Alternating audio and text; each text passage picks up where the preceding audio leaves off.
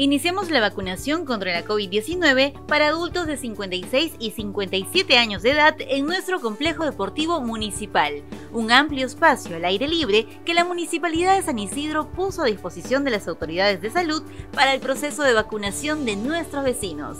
Acércate con tu DNI según el cronograma publicado en consultas.pongoelombro.gov.pe Nuestros orientadores te guiarán en todo momento. Y recuerda, en caso de sismo, la zona de evacuación está ubicada al lado de los módulos de vacunación.